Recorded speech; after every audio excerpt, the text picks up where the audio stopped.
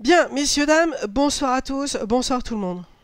Je me permets de vous faire cette nouvelle vidéo avec le sourire. Ça change.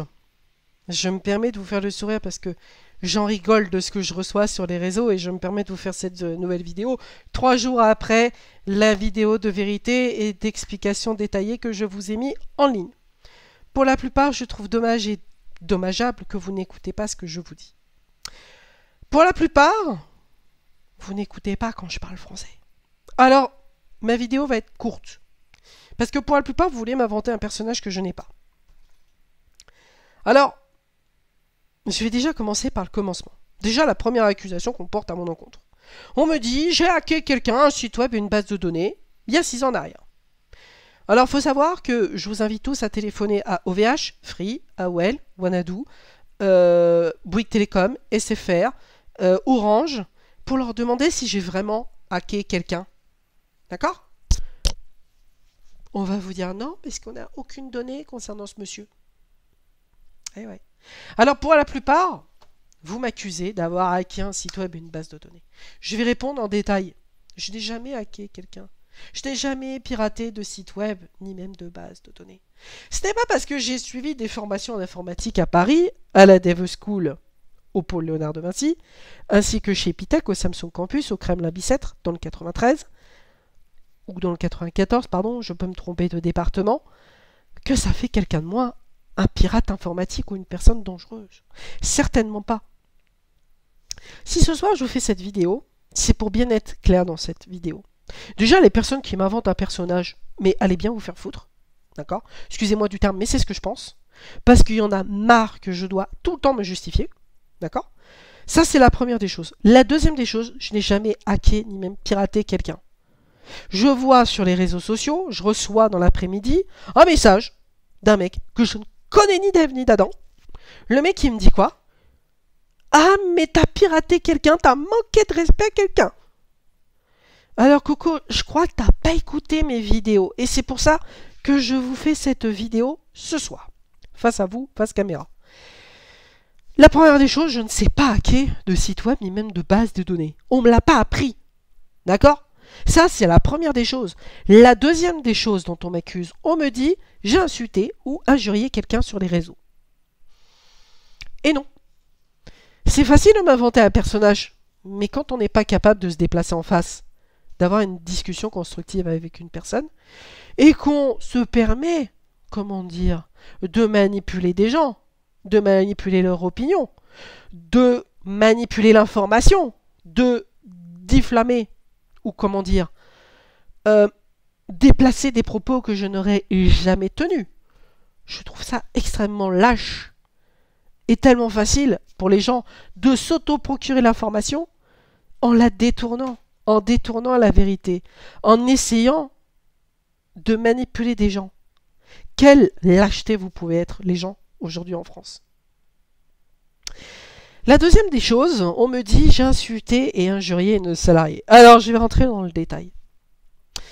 Il me semble que la dernière vidéo, qui a duré plus de 20 minutes, vous ne l'avez certainement pas écoutée jusqu'au bout. Et c'est pour ça que je fais de plus en plus court dans mes vidéos et de plus en plus clair. Il faut savoir que ça a été vu en justice, cette affaire. On sait que ça vient d'un certain P en Arménie. On le sait, on a des preuves factuelles de Steam Valve Corporation, on a des preuves de Vatim et nous avons des preuves de Truckers MP. Je vais vous mettre dans cette vidéo, à la suite, toutes les preuves que j'avance. Ces preuves, vous pourrez les consulter. Il n'y a pas de temps défini pour que vous puissiez consulter les choses.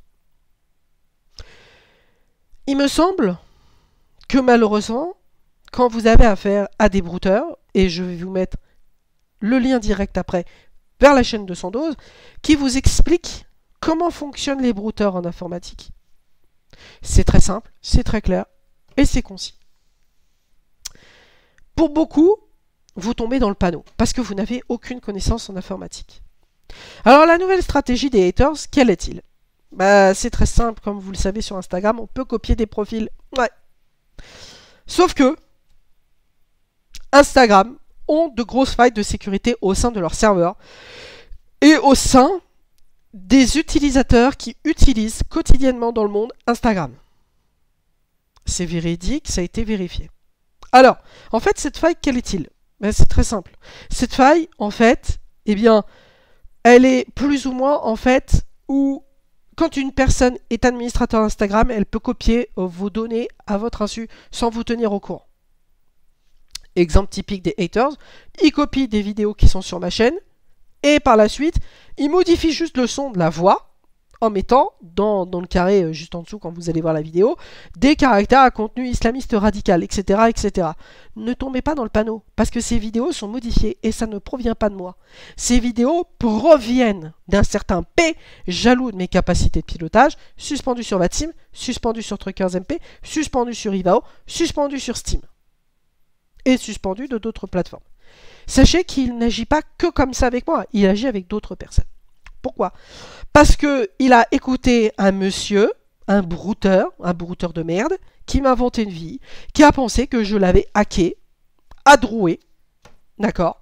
Ou tout ça s'est révélé faux au monde entier. Il a fallu que je vous informe sur la chaîne, il a fallu que je vous informe sur mes réseaux par rapport à cette histoire. La vérité est la suivante. Je n'ai jamais hacké de personne sur Internet, je n'ai jamais hacké de site web, ni même de base de données, et je n'ai jamais injurié qui que ce soit. Par rapport à ça, j'en appuie aussi, j'ai signé un règlement qui aujourd'hui m'engage sur une durée illimitée de respecter l'endroit où je suis. Je le respecte tout à fait. Maintenant, j'aimerais que les choses soient claires. Les gens qui m'inventent une vie, mais allez bien vous faire foutre. D'accord? Je vais être très clair dans mon propos. Parce qu'il y en a marre des gens qui m'inventent une vie derrière les réseaux sociaux. Donc, les gens qui peuvent voir aussi des contenus déplacés ou des gens qui se permettent de m'inventer une vie ou qui se permettent d'usurper mon identité, vous avez le lien de ma chaîne, vous avez toutes mes explications sur la chaîne YouTube, sur mon Facebook personnel et sur mon Instagram personnel. Je ne peux pas faire mieux que ça. Sachez une chose, j'ai aussi mis une publication en ce sens sur mon Facebook et sur mon Instagram pour vous tenir au courant et pour vous demander de ne pas tomber dans le panneau. Je remercie la personne qui m'a prévenu, d'ailleurs à ce titre, où j'ai immédiatement communiqué dès que j'ai eu l'information. Voilà messieurs dames sur ce que j'avais à vous dire. Très bonne soirée et j'espère que cette vidéo sera claire, concis et que les choses seront terminées. Bonne soirée à vous tous et bientôt.